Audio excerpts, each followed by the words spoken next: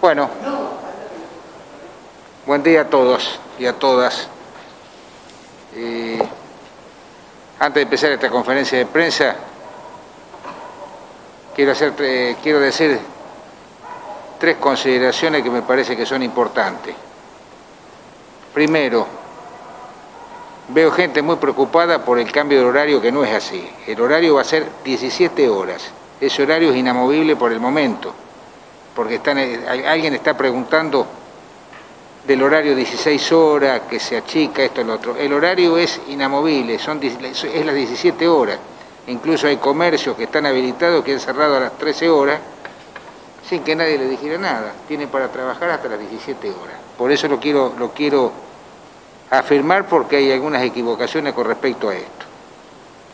Y después dos consideraciones que calan muy hondo en la municipalidad, calan muy hondo en el pueblo y que realmente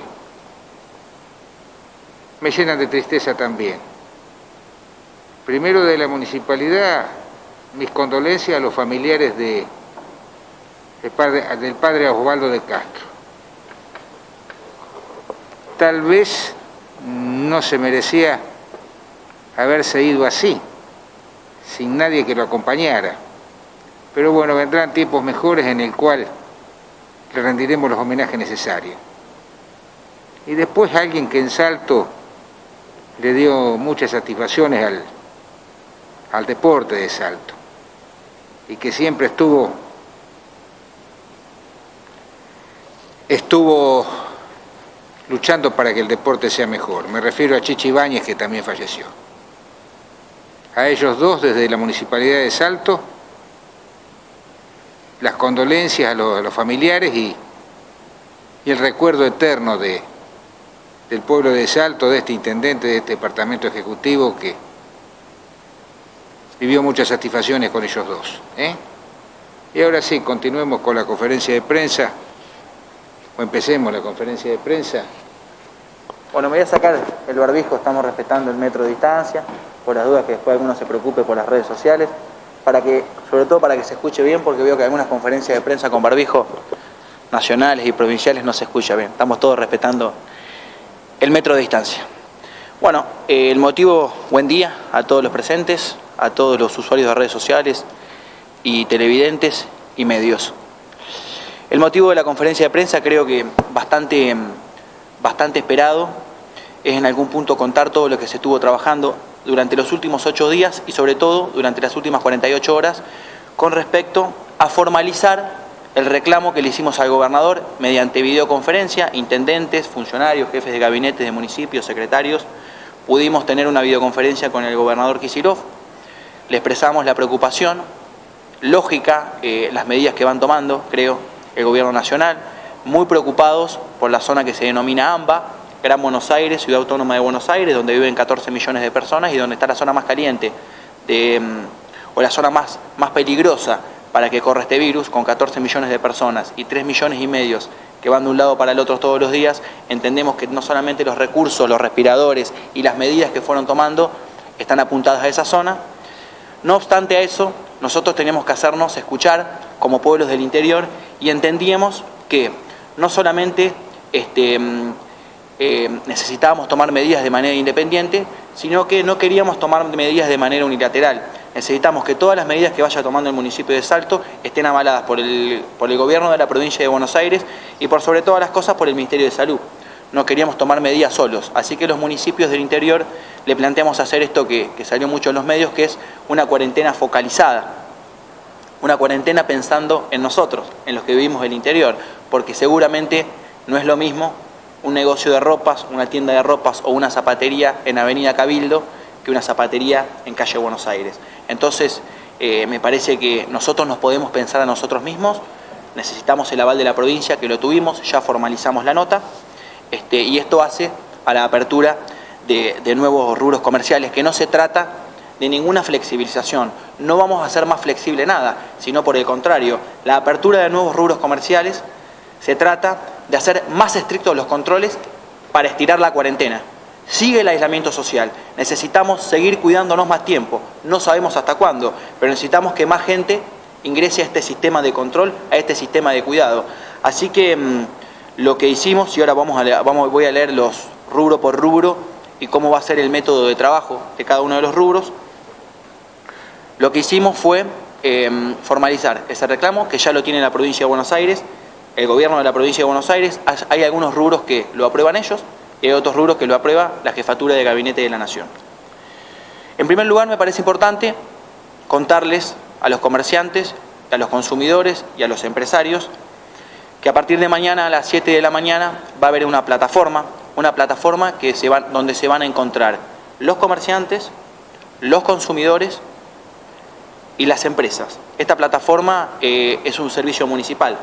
Este servicio municipal no hace más que darle un marco regulatorio, un acompañamiento en esta nueva apertura eh, y también fomentar, fomentar el consumo, fomentar el consumo de delivery y fomentar un tipo de consumo al cual no estamos acostumbrados, que es con turno, ahora vamos a leer rubro por rubro, con turno, con delivery, llamando, eh, evitando lo que estamos evitando hace 45 días y acá en Salto con mucho éxito, que es la circulación de vecinos.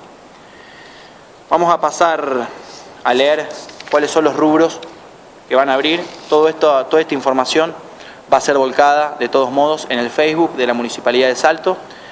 Va a ser eh, dada a todos los medios de comunicación para que la, para que la puedan difundir.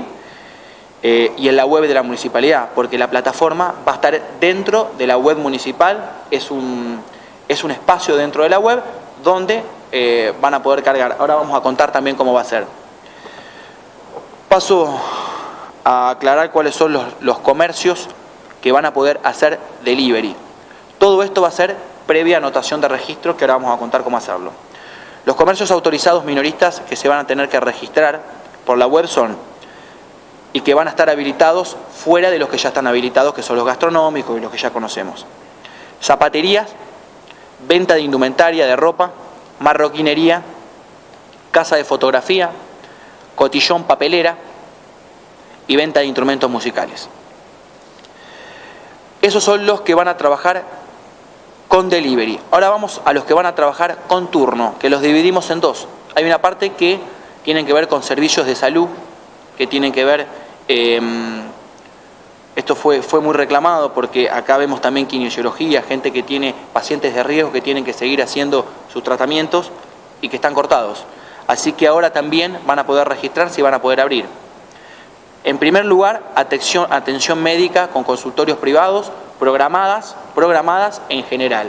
En particular, atención de odontología, que ya están trabajando, y todos ellos sabemos que tienen mucho cuidado porque son personal de la salud, odontología, kinesiología, ópticas, laboratorios de análisis clínicos y centros de diagnóstico por imágenes y podología.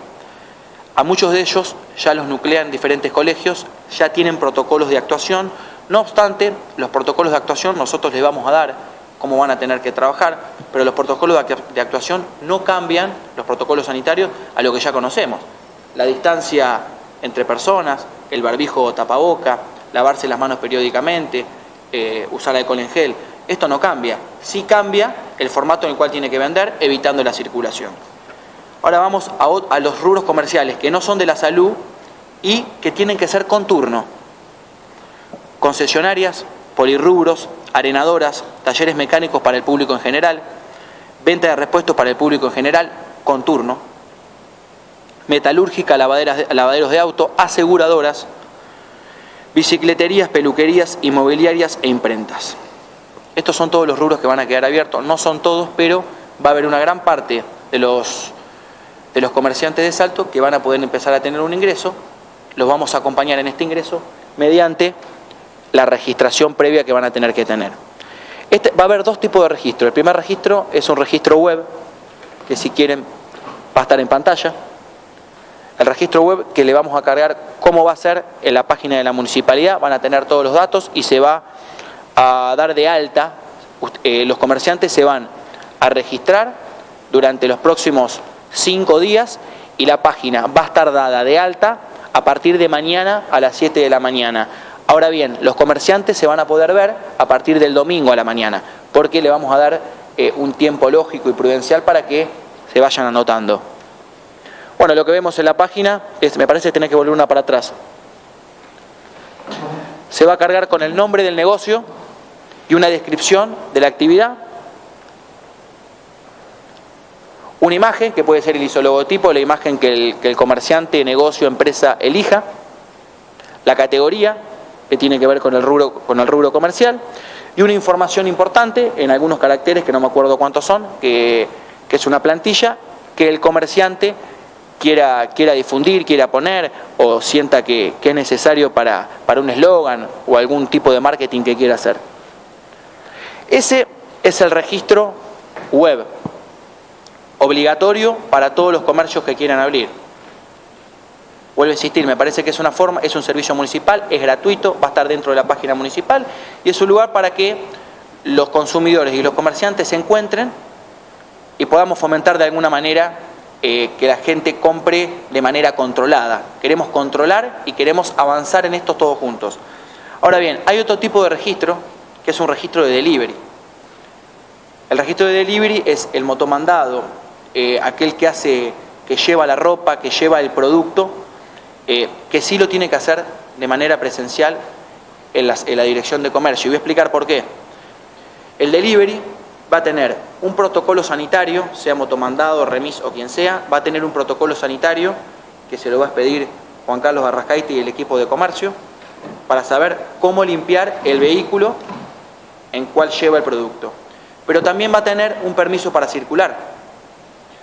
Un permiso para circular por si lo detiene alguien, de todos modos el horario de atención es de 7 a 5, no se puede transgredir esos horarios, pero eh, le vamos a dar un permiso para circular. Puede ser que el delivery lo haga un motomandado, un remis o quien se quiera registrar, o puede ser como en algunos casos que vimos, porque estuvimos charlando con algunos comerciantes, de que el delivery lo haga el mismo comerciante, también se tiene que registrar, porque vimos que eh, cada comerciante lo quiere hacer de manera diferente porque hay que, hay, que, hay que sumarle un costo extra a la distribución a ese producto. Y hay algunos comerciantes que se quieren encargar ellos. La atención de comercio va a ser de 7 de la mañana a 12 del mediodía. Los números de teléfono son 422-203 y 422-133. También va a estar en la página de Facebook, para que no estén anotando rápido del otro lado. Interno 37 y va a estar el, el mail a disposición. Esto es una implementación, vemos que tanto en Argentina, en Salto, como todos los países del mundo, están haciendo aperturas a nuevas actividades. No hay nada seguro en esto. La implementación que hacen los municipios, los estados municipales, provinciales, y mismo pasa en Alemania, es una prueba error. Hay veces que avanzamos hacia lugares y no vamos a tener ningún problema en escuchar nuevas sugerencias de los comerciantes para que las cosas salgan mejor. Ahora, acá siempre es priorizando la salud, haciendo una cuarentena que tenemos que seguir haciendo, pero también permitiendo que los comercios eh, y las familias puedan tener un ingreso a su hogar. Por mi lado nada más.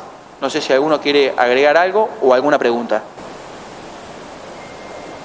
A partir de las 17 horas entonces, los deliveries ahí se deberían cortar en estos rubros que, nombraste. No.